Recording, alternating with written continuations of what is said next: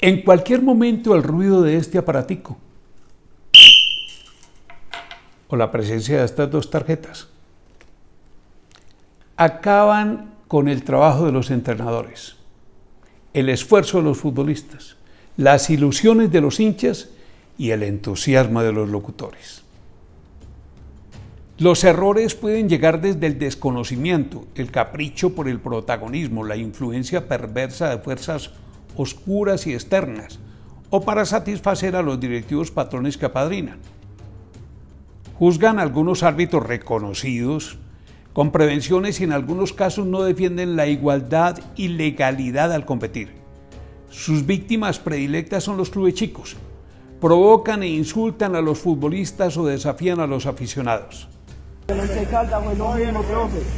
Ah, no mismo. ganaron. Ese equipo, ese No equipo- ganaron. pero ese equipo le manejó el Siempre he vendido, siempre he vendido, siempre he vendido, siempre he vendido. Y eso fue penalti, profe. Eso fue penalti. Dalo vos, huevón. Eso fue penalti. Vendido, vendido, regalado, árbitro malo. Pésimo, pésimo. Roldán hace tiempo es uno de los mejores árbitros de América, pero se da mañas, porque se cree el rey del espectáculo. Por eso lo cuestionan los clubes y las selecciones como Perú y Chile recientemente.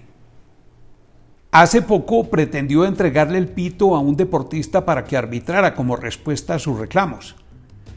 En otro partido le pellizcó la tetilla a un futbolista amenazándolo. Por allá en la historia está que por ponerle la mano en un brazo al árbitro Inestrosa otro que pita con resentimientos, a un técnico, Juan Carlos Osorio, lo sancionaron dos meses sin poder entrar a los estadios. La ley del embudo. Conocidos son los equipos que no gozan del beneplácito de Roldán, como Chicó, Quindío, Águilas y el Once Caldas. Los mantiene entre ojos con sus decisiones.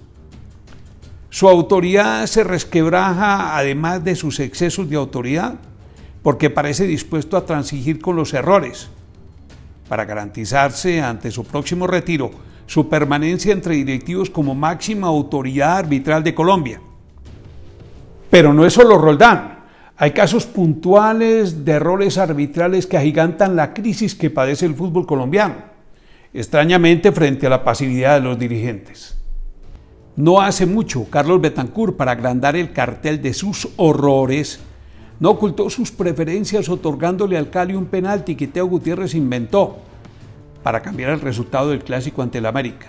Fallos arbitrales hubo siempre, muchos de ellos con plena justificación, aunque sin aceptación, como el gol de Colombia ante Ecuador en la agonía del partido. Uno que empañó la historia del fútbol fue el bochornoso episodio con escándalo, cuando Chato Velázquez, árbitro colombiano ya fallecido, fue ultrajado y golpeado por futbolistas de Brasil. Expulsó a Pelé, quien por orden de los dirigentes regresó al partido. El Chato malherido marchó a los juzgados, porque el expulsado fue él. El mejor árbitro es el que pasa inadvertido. No todos son pícaros. Así viven como equilibristas entre rechazos, como chivos expiatorios, todos masoquistas. Los árbitros, muchos buenos, muchos, otros tiranos. La razón de ser de las desgracias de los hinchas, tendón de Aquiles del fútbol. Roldán, caso típico, tiene todo para ser el mejor. Pero se deja dominar por su ego y su protagonismo, por eso su típico pitálobos huevón. Soy Esteban Jaramillo en libre y directo. Lo digo como lo siento, asumo el riesgo. Así me cueste.